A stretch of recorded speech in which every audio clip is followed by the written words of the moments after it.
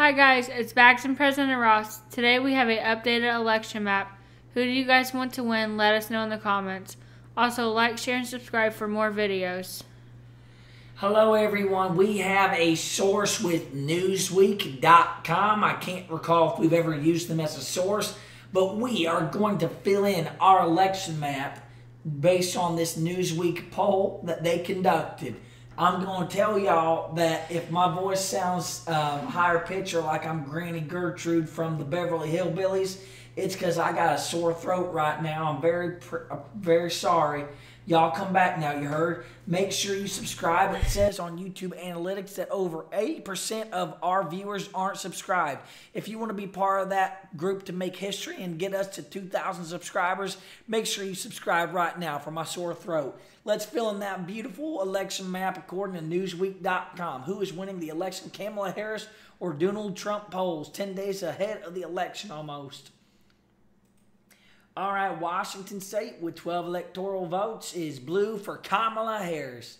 Oregon with 8 electoral votes is blue for Kamala Harris. California with 54 electoral votes is blue for Kamala Harris. Alaska with 3 electoral votes is red for Donald J. Trump. Hawaii with 4 electoral votes is blue for Kamala Harris. Montana with 4 electoral votes is red for Donald J. Trump. Wyoming with three electoral votes is red for Donald J. Trump. Idaho, not Utah, is red for Donald J. Trump with its four electoral votes. Utah with six electoral votes and the Mormon vote is red for Donald J. Trump. Nevada, according to Newsweek.com, and I just lost my web link because it started to reset, so hang on one second. Let me pull up the Newsweek.com article to find out who they have winning Nevada as of right now. It says We've got Georgia. We've got Arizona. Here we go. According to Newsweek.com, Insider Advantage, they have over 800 people they conducted the polls on the questions that Harris and Trump tied 48% each and had a 3.52 margin of error. However, a morning con- consult poll for Bloomberg also found Harris and Trump were both on 48% in a straight fight Though without a third party candidate, the Democrat had one point lead with 49% against 48%. The survey of 420 likely voters had a five point margin of error. Oh my God. So we'll just put, as right now, Nevada is blue for Kamala Harris, according to Bloomberg. Sorry about that, Bloomturd. All right, Arizona, according to Newsweek.com, Arizona, a Marist College poll of 1,193 likely voters conducted over October 17 to 22nd put Trump ahead with 50% of the vote against Kamala's 49% and 1% for third party, making Arizona red for Donald J. Trump, according to Newsweek.com. All right, we got Colorado with 10 electoral votes is blue for Kamala Harris. New Mexico with 5 electoral votes is blue for Kamala Harris. North Dakota with three electoral votes is red for Donald J. Trump. South Dakota with three electoral votes is red for Donald J. Trump. Nebraska is red for Donald J. Trump. The first district of Nebraska is red for Donald J. Trump, and the second district of Nebraska is blue for Kamala Harris, making Nebraska at large plus two red for Donald J. Trump. Kansas with six electoral votes is red for Donald J. Trump. Oklahoma with seven electoral votes is red for Donald J. Trump. Y'all better be subscribing for this damn voice. It's killing me. Texas with 40 electoral votes is red for Donald J. Trump. Minnesota with 10 electoral votes is blue for Timothy Walz, bloated Biden, aka Kamala Harris. Now we got Iowa with six electoral votes is red for Donald J. Trump. Missouri with 10 electoral votes is red for Donald J. Trump. Arizona with six electoral votes is red for Donald J. Trump. Fuck this phone. Louisiana with eight electoral votes is red for Donald J. Trump. Now, according to Newsweek.com, we have Wisconsin. Wisconsin has 10 electoral votes. Let's see what Newsweek.com has Wisconsin as. Got Michigan, Wisconsin. Emerson College of 800 likely voters in Wisconsin for Real Clear World gave Trump a one point lead with 50% of the vote against 49% for Kamala Harris, and the others were third party, probably RFK Jr. because he can't seem to get the Democrats to get him off the ballot in any of the battleground states. It's bullshit. He don't want to be on the ballot, and you only have him on the ballot so he can, so Kamala Harris can beat Trump. That's the only reason why. Shame on you, you Democrats. Shame on you. So Donald J. Trump is winning Wisconsin according to Newsweek.com. That's the only reason why they won't listen to RFK Jr. and take him off the ballot in Wisconsin and Michigan because they know that if people don't know he's endorsing Trump, they're going to vote for him and take votes away from Trump. So we got Michigan, which is according to Newsweek.com. This is not fair because he don't want to be on the ballot no more. Newsweek.com has for Michigan and its 15 electoral votes in a poll conducted by 1,316 likely voters in Michigan were polled by Quinnipiac University, with the survey putting Harris on a 50% of the vote compared to 46 for Trump, with an overall lead of four points. The survey had a 2.9 point margin of error. So that makes Michigan blue for Kamala Harris, and Timothy Walz. Illinois, with 19 electoral votes, is blue for Kamala Harris.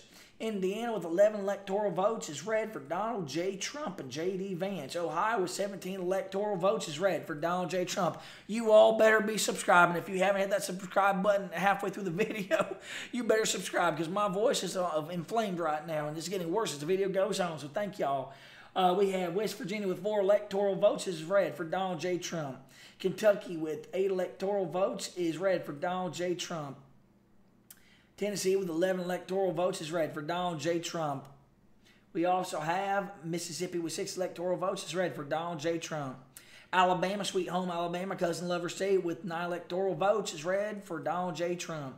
We have Florida with 30 electoral votes is red for Donald J. Trump. Now we got Georgia. I just had a second ago and I just lost Georgia, but we need Georgia right now on Newsweek.com. Georgia, a Marist College survey of 1,193 likely voters had Harris and Trump tied with 49% of the vote each. It took place between October 17th and 22nd with a 3.9 margin of error. Morning Consult polled 855 likely Georgia voters for Bloomberg over October 16 to 20 in a straight contest that gave Trump a two point lead with 50% of the vote against 48% of the vote for Harris with a three point margin of error, which possibly means that she could win it by one point if you do the math correctly. But according to them, in Bloomberg uh, and Newsweek.com, Trump has around a one to two point lead in Georgia, giving him Georgia and making it red for Donald J. Trump in the 16 electoral votes. So that means South Carolina with nine electoral votes is red for Donald J. Trump. North Carolina, we have Trump leads Harris by two points in North Carolina with the 50% of the vote against her and 48% that Harris has, according to Emerson College poll of 950 likely voters. That makes North Carolina Red for Donald J. Trump. Yeehaw. Virginia with 13 electoral votes is blue for Kamala Harris. Now we got Pennsylvania. That's right, Pennsylvania, the big state that both candidates need to win in order to win the election. Pennsylvania. In Pennsylvania, a poll of 860 likely voters conducted by Emerson College for Real Clear Pennsylvania gave Trump a two point lead with 51% of the vote against 49% of Kamala Harris. The poll had a 3.3 margin of error. That means that there's a possibility that Kamala Harris could win by 0.3, but that gives Pennsylvania the win for Donald J. Trump, making it red. New York with 28 electoral votes is blue for Kamala Harris. And we got Maine, ME, the whole state is red for Donald J. Trump, with the first district of Maine being blue for Kamala Harris, making Maine at large blue for Kamala Harris.